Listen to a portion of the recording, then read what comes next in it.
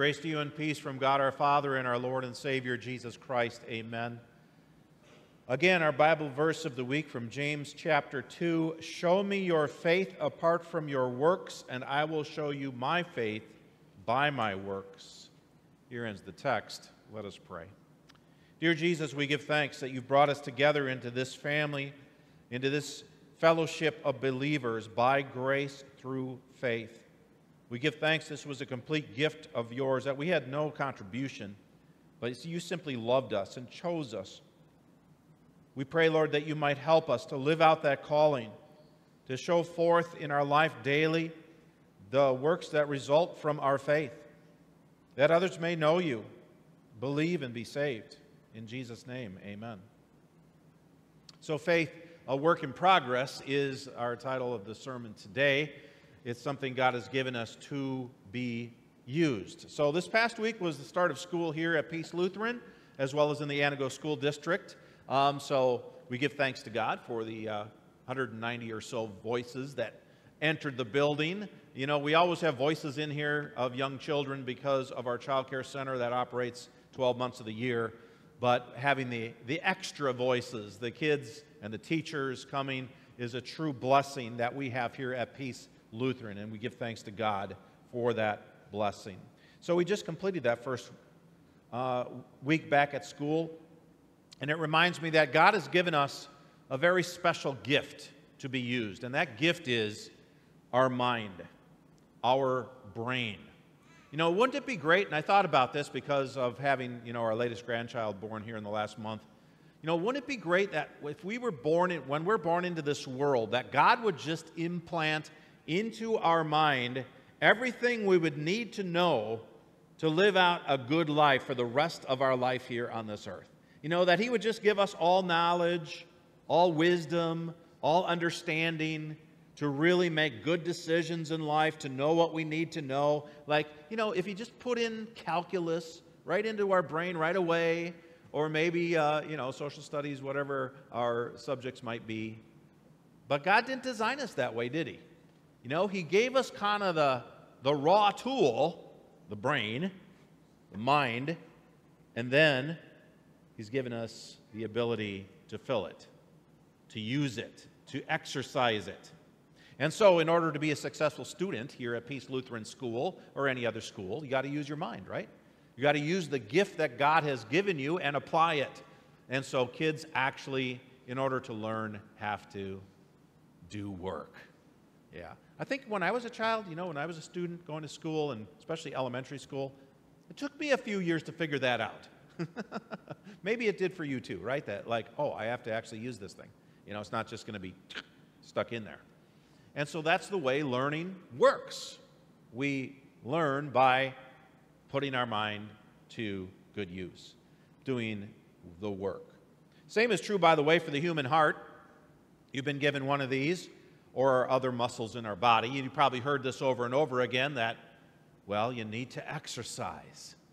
Anybody ever hear that in your life? Yeah. You need to exercise regularly. You need to keep your body in shape. You need, you know, God has given us this body not to just sit, but to actually use. So there's interesting studies that have been done about all this kind of stuff. Uh, you know, if we, uh, if we don't exercise our mind, if we don't exercise our body, well, then it's going to not be used to its full potential. Well, I don't know if you've applied those concepts to this, though. You know, I think we've all heard that about our mind, uh, even especially as we get older. You know, we have to do keep exercising your mind as you get older, puzzles, and and uh, continue to be engaged in in doing activities. But the same is true of our faith. You know, faith by uh, uh, the definition within you know God's word is something that God has given us already. We know from infancy, God has supplied His Holy Spirit through the word and sacrament in our baptism to give us this great gift of faith, saving faith in Jesus Christ. And we know, if we're good Lutherans, that God has done all the work, right? Jesus did everything necessary to save us. Jesus lived the perfect life underneath God's law, obedience to the Ten Commandments perfectly because we can't do that perfectly. Jesus is the one who went through complete suffering for our sin and the sin of the whole world, for all people, when he went through the cross and gave his life there and bled and died for us. And Jesus defeated death in the grave. Jesus is the one who showed the power over death by rising from the dead on the third day on Easter morning. He did it, not us, he did it, but he gives that victory to us for free. It all comes by grace through faith. How many times have we heard that phrase, right? As good Lutherans, this is just part of our identity. But sometimes I think we don't quite get to the next part of what it means to have faith, which is just kind of like our mind and our heart. God's given it to us to use, to put into practice, to exercise. And so that's what we're going to be doing and talking about really for the next six weeks here at Peace Lutheran. We're doing this thing called the Bean Challenge. Being Challenge, if you saw our creative video that we did here last weekend and showed you in church. Um, yeah, it's the, the being challenge. It, it means being closer to God. And you might wonder, well, why are we doing this, Pastor Dave? What's this thing all about? Well, there's this pastor. His name is Zach Zehnder. His name is on the book there. He's the one who wrote this. He's an LCMS pastor, and he was a pastor down in Florida and had a mission church down there near Orlando. And he had a man, his name is Derek, who uh, came to church with his wife, except Derek wasn't a Christian. And he wasn't a member of the church, obviously, if he's not a Christian, right? He never was baptized. And he kept coming and he kept coming. And one day he said, You know what? I'm going to take that step and go to the new member classes. And so that's what Derek did. And by the way, today we're starting a new set of new member classes right here at Peace Lutheran after this service at 9:15 to 10:15 in the conference room. I'll be teaching it. Just look for me if you're interested. But anyway, Derek, after attending for quite a while because sometimes it takes quite a while, he finally took the step and said, "I'm going to go to the class." So he went through the classes. He learned about this great gift of God's grace that comes in and through Jesus Christ and he made the decision that he wanted to be baptized at the end and join the church. The Holy Spirit motivated him to receive that gift. And so he was. He was baptized. He was brought into the church. His family was so excited. His wife was so excited, you know, and he was excited. But about a week later, he came to Pastor Zach here at this church in Orlando area, and he said, You know, Pastor, I don't really feel any different than I did before. So, what's it supposed to look like or feel like to be a Christian? to live out my faith? And that kind of got Pastor Zehnder here going on digging into the Gospels Matthew, Mark, Luke, and John, the story of the life of Jesus, to see how did Jesus answer that question? How did Jesus live out his life? you know, as the, the supreme example, I guess, of, you know, what does Christian living look like? Uh, obviously, he came as a savior, but he also came as a pattern, an example to all of us as Christians of, well, what does it mean? Once we know and believe this great truth that we have been saved by grace through faith, well, what does it really look like as we live it out? You know, James addresses that in the epistle reading today. He talks about the royal command love your neighbor as yourself, a summary of the last seven commandments. Or the first three, you know, summarized by love the Lord your God with all your heart, soul, strength, and mind. Or as we're doing in confirmation class, again this Wednesday, uh, just a reminder, again, meal at 5.30, class starts about 6. But we're going through the Ten Commandments, you know, there's a, an outline of the Christian life. But as Pastor Zehnder, Pastor Zach here, studied the life of Christ, he saw that there were actually some, some specific targets that Jesus demonstrated in his daily living as he lived out those commandments. And so he wrote this book called The Red Letter Challenge. We actually looked at this uh, four years ago here in this church. Some of you remember this. We started this 40 day, very similar to what we're doing with the Bean Challenge. Uh, it's called the Red Letter Challenge, the black book, and we went through 40 days of devotions, and right in the middle, we did this during Lent, by the way. Right in the middle, COVID hit, and then all of a sudden, we couldn't come to church for a little while. Our small groups kind of ended. we still could read the book, though, and we still continued our worship series. But it was just kind of a strange time, right? We kind of had this awkward, weird thing happen in the middle of our 40 day red letter challenge. But in that book, if you read that book, if you went through that challenge four years ago here at Peace or maybe in some other place, you know, he identified these five targets to shoot for in the Christian life. You know, this is what Jesus did with his life. You know, he spent time with his, his heavenly Father and nurturing that relationship. That's the being part. He also forgave a lot of people.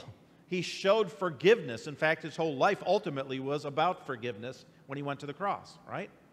And then he also served others, and you see Jesus serving many people in the Gospels, reaching out and helping those in need. And then giving. You know, Jesus obviously gave his life, that was the ultimate gift, right? But he also talked a lot about giving, giving of our money towards God and others, uh, giving of our talents, and, and giving in other ways. I mean, just living a life of self sacrifice to further the love of God in this world. And then also finally going, you know, the Great Commission, right? Go and make disciples. So Jesus was always kind of on the move, and so is the Christian church. And so Zach wrote about these, these five kind of targets that we live out, and kind of helped explain in kind of a practical way well, what does it look like to live out the love of God, and to live out the love of our neighbor, and to live out the Ten Commandments? Well, it kind of looks like this. So, what we're doing starting next weekend is we're zeroing in on the first one, on being, on being in relationship to our God, nurturing our relationship to God using five targets. Yeah, he's into the five target thing, right? So, five targets to shoot for. And Pastor Jared's going to share this a little bit more in detail next week in our introduction to this whole program. But things like gathering in community. Well, guess what? That's what Jesus did, right? He gathered 12 disciples and he had his little community that he nurtured and grew. We have small groups, or we have other mat teams and other things here in the church, right? He studied scripture. Jesus, okay, Jesus is God, right? He actually wrote the Bible or sent his spirit to uh, inspire the writers to write the Bible, but he spent time in God's Word. So do we. How do we read the Bible? Learning to uh, prioritize that. Um, and also prioritizing prayer, our, our response to God, our, our conversation with God, seeking solitude, that one on one time with God, not just corporate prayer that we do here, but how do we talk to God and listen to God privately? And then church. Okay, God's design for his community of believers is to be together as a congregation. So we're going to talk about that. So those are the targets we're shooting for in this being challenge. And hey, we're not going to do it perfectly, right? None of us have a perfect uh, uh, working out of our Christian faith, but that day, at some point in the future, will come. Some of you should recognize this picture I've got on the screen. Anybody know what street this is? Go ahead, shout it out if you know. Edison, right. So if you live around the church here, or really anywhere in Antigo, you're probably familiar with the street project going on in the city of Antigo. So, this project has its ups and downs if you've been paying attention. You know, and I, uh, I'm familiar with this because, hey, I have to cross Edison every time I come to Peace, every day, you know, a couple times. And for a while there, at the beginning of summer, I would forget. And I'd drive down 7th Avenue to get to Peace, and then I'd have to turn around or go down some other street and figure my way around to finally get here. Um, finally, I kind of caught on. But this project was delayed. You know, there was rain First half of the summer was very rainy, and you'd look down Edison Street like, oh, wow, there's a lot of water down that street. Wonder how that project's going. That I'm sure was delayed because of that. And then finally, we have this nice weather lately, you know, and they're, they're to this point. I took this picture yesterday, by the way. So we're finally looking like, oh, this is looking like a street again. This is great news. You know, and I thought this was kind of a, a good example of what our faith life is like. You know, our faith life as it's described in the Bible, has its ups and downs. You know, in fact, the Apostle Paul describes our faith sometimes as being weak and sometimes as being strong. Or he uses terms like strengthening our faith, growing in our faith, growing in our understanding of God. growing in our living out of our faith daily, growing in our works of righteousness in this world. Even Jesus talked about that, right? If you think about the way Jesus described faith, he said things like, If you have faith like a mustard seed, you can say to this mountain, Move, and it'll move. Now, I can't guarantee that at the end of the 40 day bean challenge, you'll be able to do that.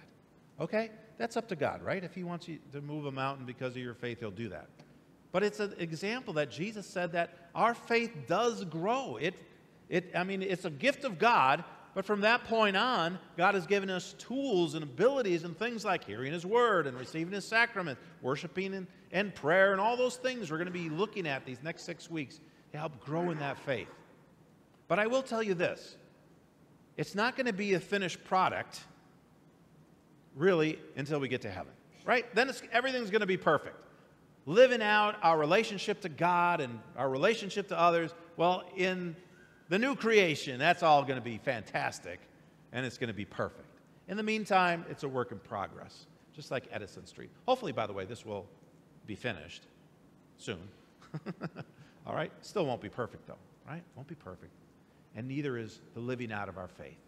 But we give thanks to God. He's given us these fantastic tools, these targets to shoot for as we grow in our relationship to Him. And I hope you're looking forward to that as much as I am. Amen. Please stand. And now may the peace of God, which passes all understanding, keep our hearts and minds in Christ Jesus our Lord. Amen.